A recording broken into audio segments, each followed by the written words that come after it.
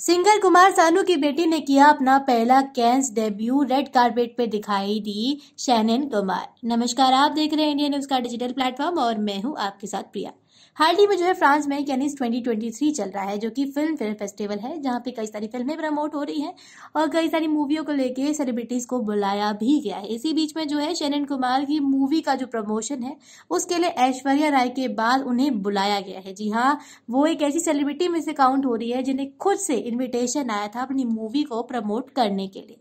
जिसको लेके वो सुर्खियों में चल रही हैं, उनके लुक्स को लेके कई सारी बात की जा रही है। अगर बात करें उनके लुक्स के बारे में तो उन्होंने एक रेड कलर का गाउन पहना था जो कि बहुत ज़्यादा फ्रेल था। उस गाउन को लेके बहुत ज़्यादा तारीफें हो रही है। उनके बाल कर्स और उसके ऊपर एक टियाना भी लगा हुआ था। उनके लुक को लेके सोशल मीडिया पे बहुत ज़्यादा तारीफें भी की जा रही है।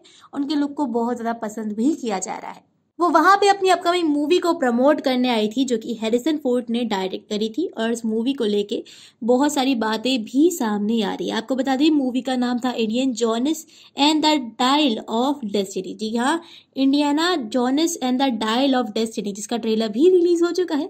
इसमें बहुत सारे सवाल होते हैं और ये टाइम होता है पुराने वक्त का, जब हिटलर के टाइम के बाद एक शख्स को कुछ मिला होता है, जो कि टाइप मशीन के टाइप का होता है, जो कि ट्रेलर में दिखाया गया है। जब उनसे पूछा गया कि आपका कैसा एक्सपीरियंस रहा और आपको कैसा लग रहा है? यहाँ पे आके आपका पहला कैंस का ये जो है एक्सपीरियंस रहने वाला है, जिसको लेकर उन्होंने ये भी कहा था कि मैं बहुत ही खुश महसूस कर रही हूँ और मैं बहुत ही लकी मान रही हूँ। सच बताऊँ तो मुझे बहुत ही ज़्यादा नर्वस फील हो रहा था रेड कार्पेट पर आते हुए।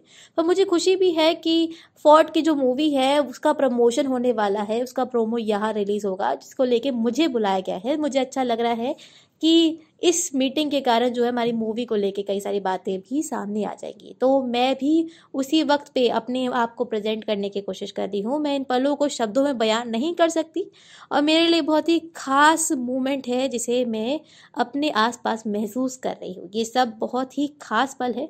उसमें मैं ये एक है। जिसको लेके उन्होंने अपने बयान में कहा था और बताया था कैसा रहा उनका कैंस का पहला इवेंट के पहले दिन का एक्सपीरियंस ऐसी और तमाम खबरों के लिए हमारे साथ जुड़े रहें। धन्यवाद।